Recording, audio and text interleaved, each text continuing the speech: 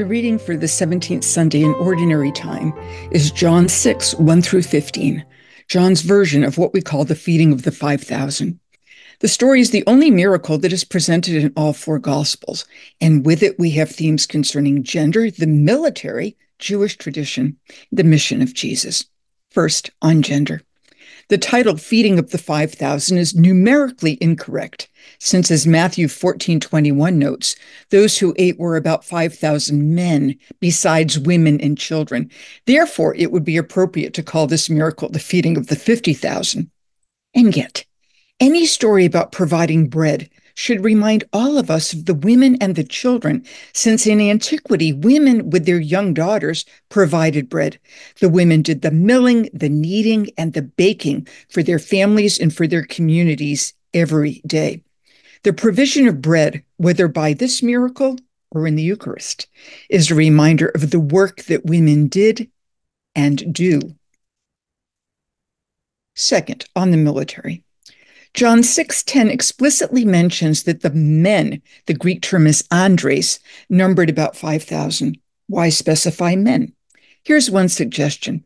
There are several earlier places in the Bible, in Joshua, in Judith, in 1st and 2nd Maccabees, that mention 5,000 men, and each concerns military attacks.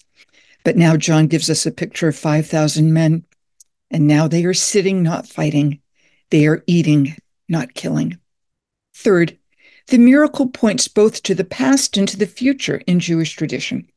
It recalls the provision of manna in the wilderness in Exodus chapter 13, the bread from heaven to which Jesus will later refer in John 6:51 when he says, "I am the living bread that came down from heaven." It remembers Elijah giving the jar of meal that will not be emptied and the jug of oil that will not fail until the day that the Lord sends rain on the earth to the widow of Zarephath and to her son in 1 Kings 17. It remembers 2 Kings chapter 4, where Elisha feeds over a hundred people with 20 barley loaves and a few ears of grain. And our miracle anticipates the future messianic banquet.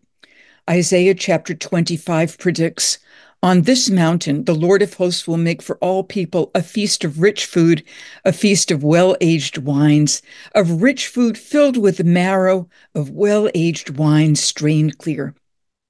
It turns out we don't need all of this. A taste of bread, a hint of fish, the food not of the wealthy, but of the people living near the Sea of Galilee. That's all that is needed for peace and prosperity. Finally, the people proclaim, this is truly the prophet, the one who is to come into the world. Why? Because of that foretaste of the messianic banquet, because he feeds the hungry, because he acknowledges the work of women, and because he turns an image of invading armies into an image of breaking bread. The reading ends with Jesus withdrawing because the people want to make him king. Jesus will in John 8:23 explain that his kingdom is not of this world but by withdrawing, he provides another teaching. We do not need divine intervention or a king, a president, a prime minister to help us recognize the contributions of women and children as well as men, to feed the hungry, to turn swords into plowshares, to celebrate the stories of our past, or work for a future where all can find their stomachs full. Every time we take a bite of bread, we can be reminded of John 6, the rich meal of memories it provides, and the important teachings that it offers, indeed continues to offer.